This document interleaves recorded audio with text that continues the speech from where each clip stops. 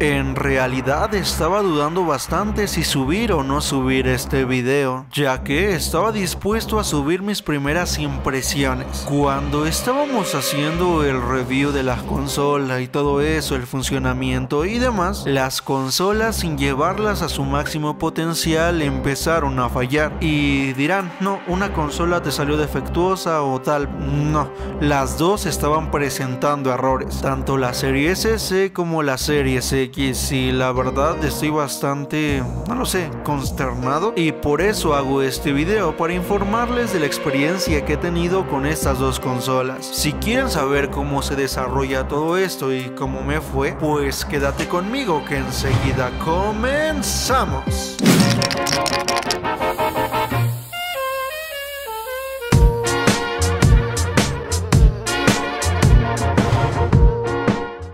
Primer error, vamos a empezar por orden. Al conectar la Xbox Series S pasó lo típico, ¿no? Nos pidió actualizar la consola para poder utilizarla y todo eso, así que obviamente accedimos. Pero al ponerla a actualizar soltó este error alrededor de cuatro veces. Para solucionarlo tuvimos que insistir e insistir y reiniciar la consola. Y no solo una, fueron varias veces. Ya una vez reiniciando y reiniciando e intentando conseguir que actualizara, pero vaya que costó trabajo. En México, la red está conectada, claro que sí. ¿Dónde vives? México.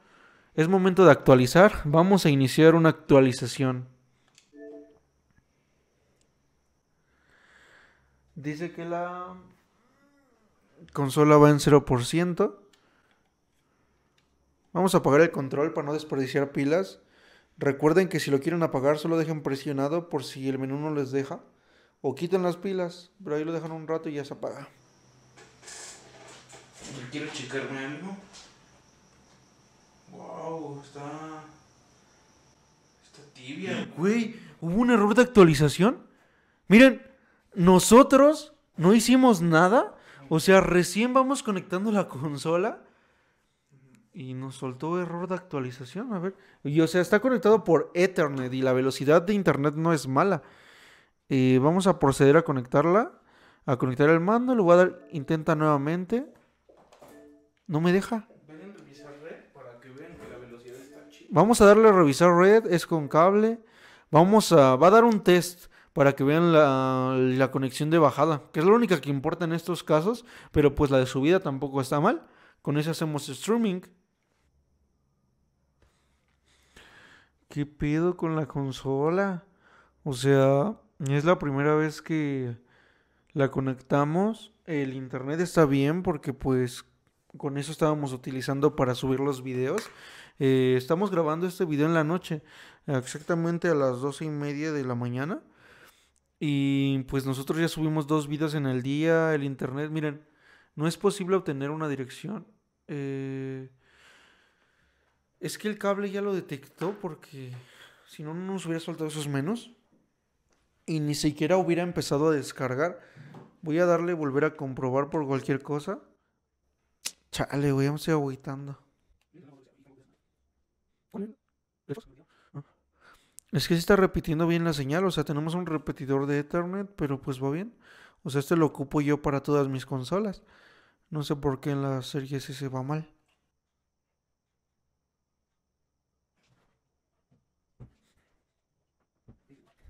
Chale. La gente que esté viendo este video deje su F en el chat porque la consola no se nos actualiza.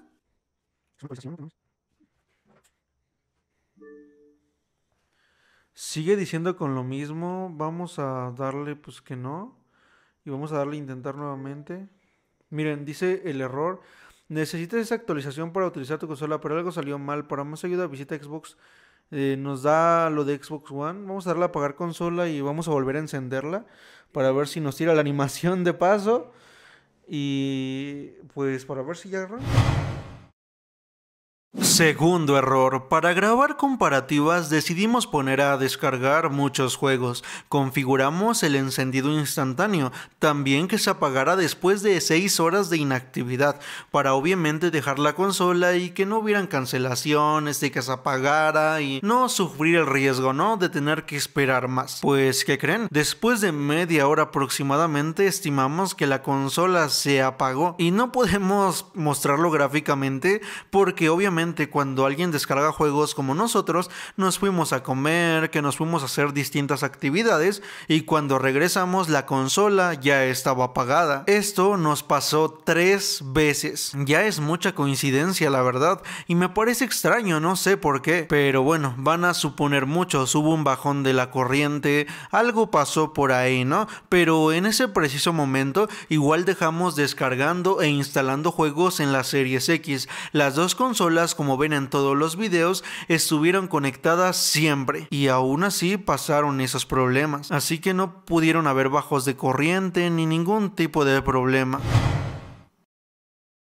Tercer error. Este error surgió en el Quick Resume. Como saben, esta función es para reanudar las partidas en distintos juegos. La idea de Microsoft es que se puedan tener 12 juegos suspendidos simultáneamente. Es decir, si tú estás jugando Minecraft de un golpe a otro, pasarte a Gears of War y así pasarte después al FIFA y estar suspendiendo los juegos, pero reanudarlos de forma rápida y eficiente. Pues, ¿qué creen? Esta función no funciona ni siquiera con dos juegos. O sea, puedes mantener uno abierto y si intentas usar el Quick Resume tan solo con otro juego, o sea, ya con uno diferente, te peta y te da un error. Yo lo entendería si fuera una fase beta, pero mens, es la fase final de la consola, o sea, ya la dieron en las tiendas y sigue teniendo errores. No sé, por eso sí estoy algo molesto, porque estos errores algunos streamers les estuvieron pasando como un mes antes y que siga pasando incluso ya en la salida, sí me, la neta, sí me molesta un poco. Sí está tardando, ¿eh? A comparación de otros juegos, este sí está optimizado para Series X y S. Y sí está tardando un poco. Yo, yo veo la diferencia. Yo veo que sí está tardando. Pero igual puede ser porque tenemos abierto eh, juegos simultáneamente. No cerramos el Warzone. Entonces ahí debe estar abierto. Miren, está tardando, ¿no? Ya, ya tardó. Creo que en la One me atrevería a decir que ya hubiera abierto. Mm, no sé, la verdad, a qué se. a qué se deba esto. Está tardando, ¿eh? O sea, ya lleva. ya lleva rato. Esto es lo que hay hasta ahora, lo que sabemos de la Xbox. La verdad no habíamos probado la función porque nosotros dijimos, no, pues... Pues no debe de haber problema, ¿no? Es una función que en tanto promueven. Ni siquiera la calamos, la quisimos calar en vivo porque estábamos muy confiados de que, de que iba a servir, pero al parecer no jala. ¿No? Se volvió a regresar. Y miren, si voy al Warzone, de seguro ya se me cerró. Otra vez volví a cargar este. Y si me voy al Gears, ya lo volvió a cerrar. O sea, no me tardé ni dos segundos. Y se cerró el juego otra vez. Miren, otra vez va a volver a cargar la transición.